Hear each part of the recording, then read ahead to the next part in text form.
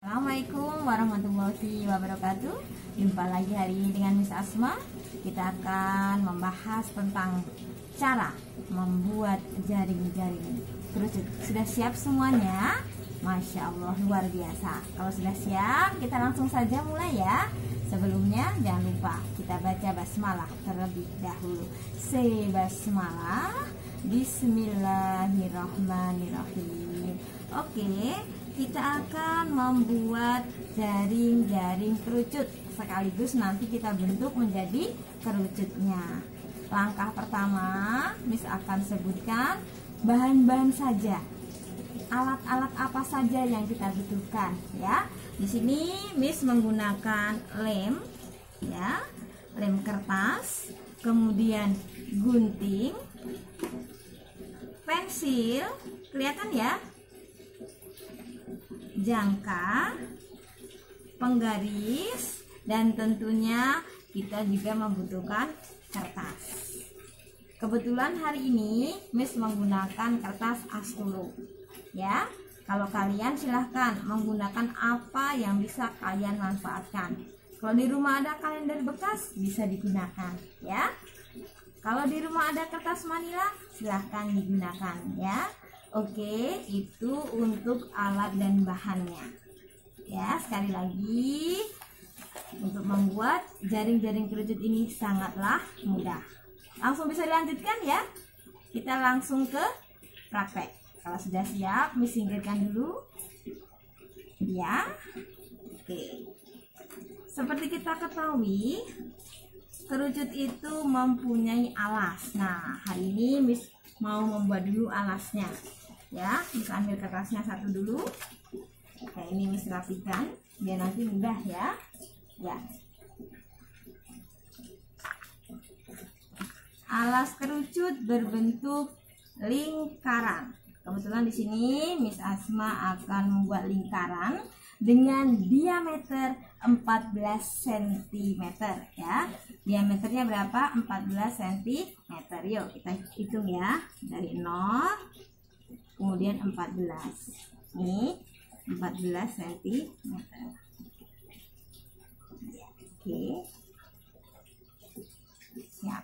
Kalau diameternya 14 cm berarti jari-jarinya berapa? 7 ya di sini. 7 sebagai titik tengahnya nih. Dan kita sudah buat garis diameternya. Kita lanjutkan dengan menggunakan jangka ya titik pusatnya di sini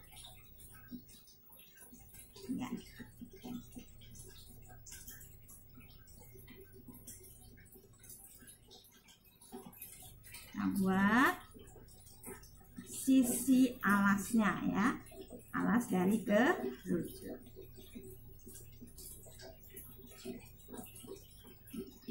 Kelihatan nggak? Oke, Miss dekatkan ya. Kelihatan tidak? Kelihatan nggak ya? Ya oke ini adalah alas dari kerucut dengan diameter 14 cm oke kurang kelihatan ya? Ya Miss tebalkan lagi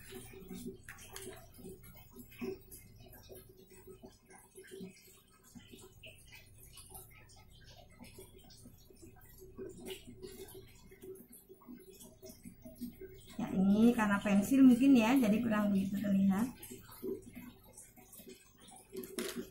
ya kelihatan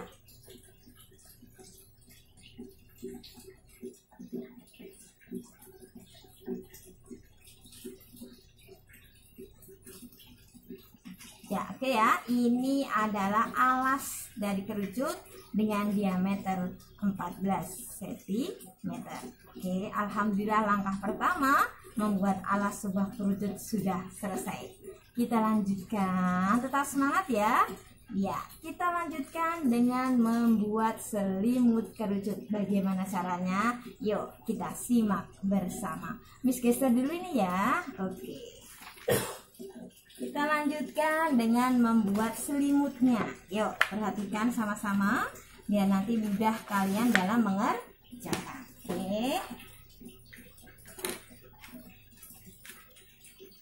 Tadi diameternya 14 ya, berarti kita akan membuat selimutnya. Panjangnya 2 kali 14 berarti. Berarti berapa? 28 oke 28 ini 28 oke ini tarik garis. Panjangnya adalah 28 karena tadi untuk alasnya diameternya ada 14 jadi kita kalikan 2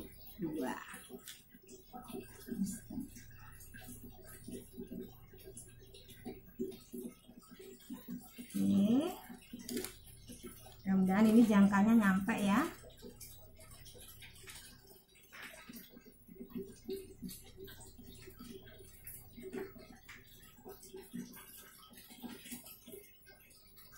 Alhamdulillah nyampe bisa ya. Kita gambar untuk membuat selimutnya.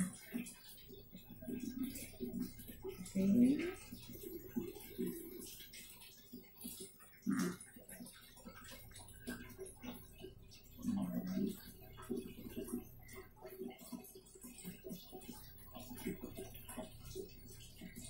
Kelihatan nggak ya? Coba. Ini langkah untuk membuat selimutnya seperti ini setengah lingkaran. Ya, dengan panjangnya tadi adalah 28 yaitu 2 kali 14. Sudah paham? Oke, selanjutnya yang bawah Miss Asma tambahkan 1 cm untuk tempat lem ya nih. Ini Miss tambahkan 1 cm untuk tempat lemnya kalau lebih juga boleh silahkan ya. Tapi miss di sini ambil satu cm saja. Untuk nanti tempat lemnya ya oke. Okay. ya. Ini juga sama nanti untuk pemotongannya ya. Pemotongan polanya miss akan lebihkan satu cm untuk tempat lem ya. Alhamdulillah untuk alas kerucut sudah selesai, selimut kerucut sudah selesai. Kita lanjutkan langkah yang ketiga yaitu memotong pula. Yuk, mana dulu yang kita potong? Ya, kalau mau yang alas dulu yuk kita potong ya. Ya, untuk alas tidak usah dilebihkan ya, pemotongannya sesuai dengan pola. Ya, ini potong.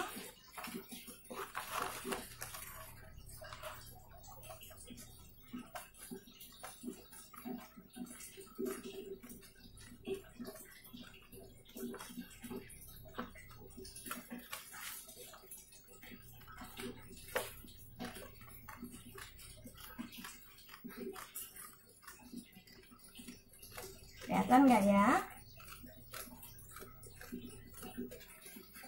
kalau nggak kelihatan bisa agak maju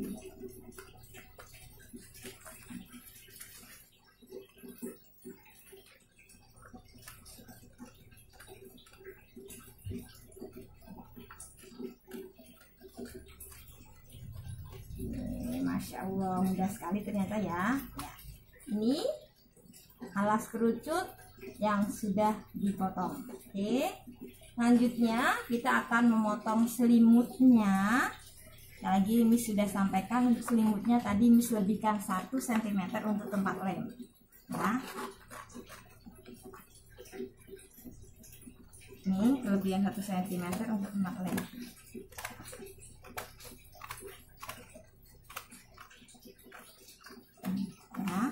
Kira-kira aja ya karena kebetulan tadi jangkanya kan nggak panjang ya jadi ini kira-kira aja. Lebih satu cm dari pola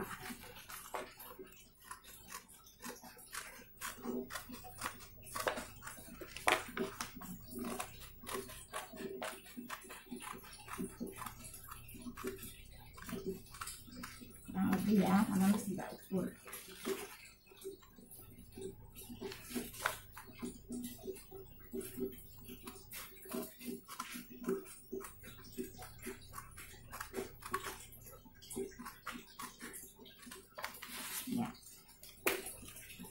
Oke. Ini tadi apa namanya? Alasnya. Dan ini adalah selimutnya. langkah berikutnya atau langkah terakhir kita akan menempel antara alas dengan selimutnya. Yuk ya. Mau ini aja ya. Kalau mau yang kelihatan warna hijau berarti posisinya begini. Kalau mau warna putih berarti sebaliknya ya ini nanti kita akan gunakan tempat lem yuk kita lipat. Nih. Nah di sini nanti kita akan lem ya. Miss maaf menggunakan tangan karena ini lem kertasnya yang seperti ini. Kalau kalian punya lem model lain silahkan. Ya ini. Ini ya kita rekatkan nih tadi hilang ya. Maaf. Bisa di kalau kelihatannya tadi memutihnya kurang boleh disesuaikan.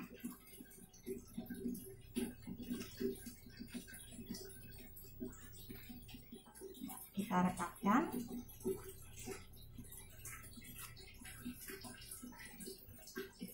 ya, kita rekatkan nih masya allah ya. Ternyata bagaimana?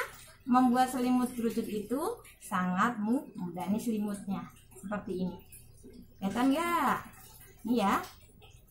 Kelihatan nggak? Nih selimut kerucutnya. Oke. Nah, ini tadi ah langkah berikutnya adalah kita akan menempel antara selimut dengan alasnya ya. Kita akan nempel antara selimut dengan alasnya. Nah tadi kan sudah sampaikan ini dibedakan satu senti tadi untuk tempat lemnya ya. ya jadi kita potong ini ya. Bebas ini yang penting nanti bisa rekam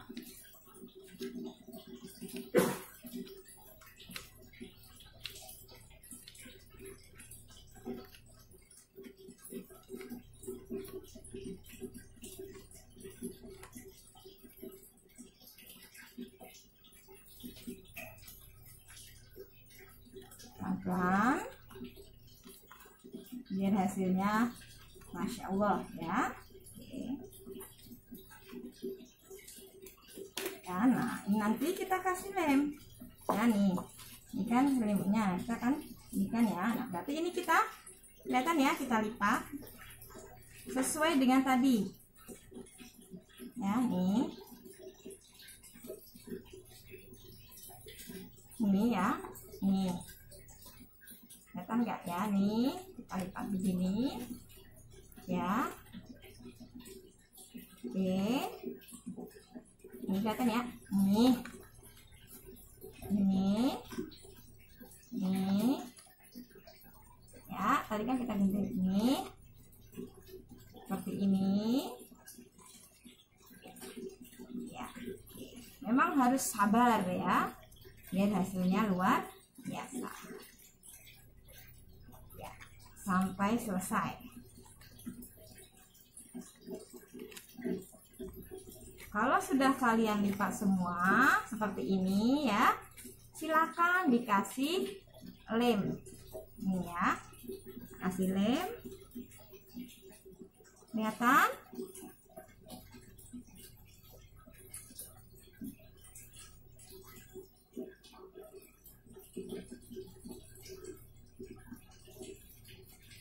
Maaf kalau belepotan ya.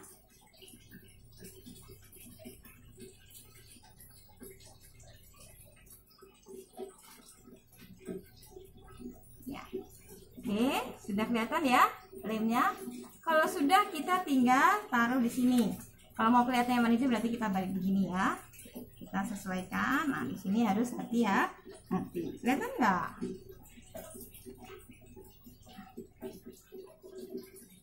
Oke, bentar ya.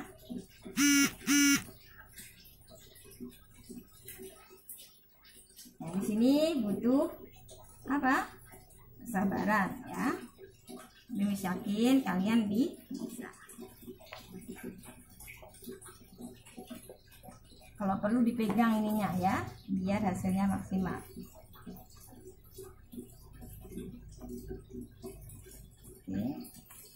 Kalau ada double tip wah lebih cepat sekali ya. Tapi ini pun bisa kok.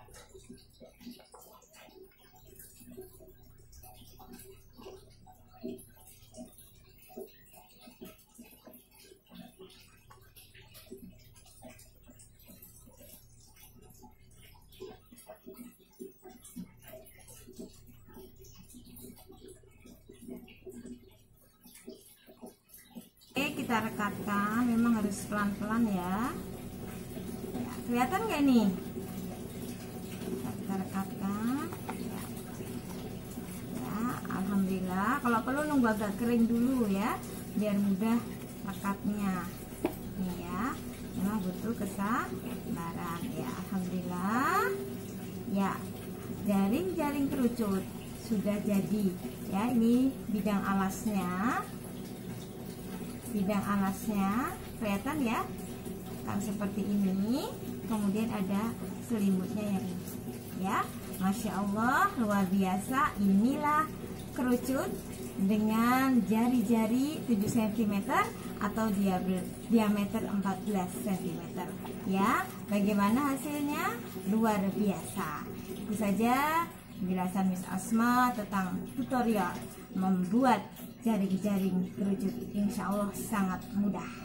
Mari kita tutup dengan membaca hamdalah sehamdalah alhamdulillah hirobbil alamin. Sampai berjumpa di tutorial berikutnya. Matematika aku suka aku suka dan aku bisa. Terima kasih